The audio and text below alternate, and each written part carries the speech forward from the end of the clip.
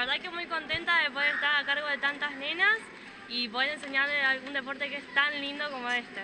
Bien. ¿Cuántas chicas y bueno, no sé si algún chico eh, están participando este año 2014 del patín?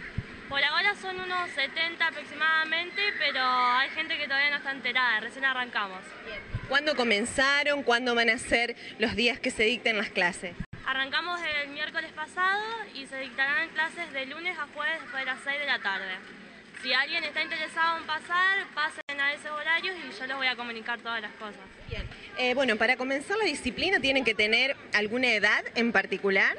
A partir de los 3 años ya pueden comenzar y sin límite de edad.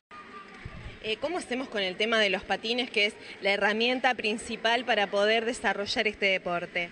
Bueno, el tema de los patines se pueden conseguir usados muchos o la mayoría se compra nuevos. Bueno, están practicando aquí en este eh, salón que está acondicionado para, para, este fin desde hace algún tiempo. Eh, recordanos un poco en qué lugar de nuestra localidad están instalados. Bueno, estamos instalados enfrente de la plaza, al lado de la mutual. Eh, siempre practicamos acá desde que se comenzó y la verdad que está en muy buen estado ahora. Aldana, ¿cuáles van a ser los objetivos de este año 2014 en relación al patín aquí en el club? Y me encantaría que se junten cada vez más chicas a practicar este deporte que es tan lindo y lograr cada vez más y más gente. Eh, ¿Se puede dar que adultos vengan a practicar también? ¿Esto está contemplado? ¿En qué horarios? ¿Qué días?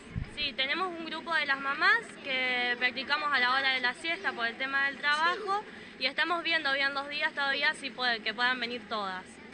Bueno, eh, mucha suerte para este año 2014 con esta disciplina que te toca llevar adelante y que vos has hecho durante algún tiempo, ¿no? Sí, sí, muchísimas gracias.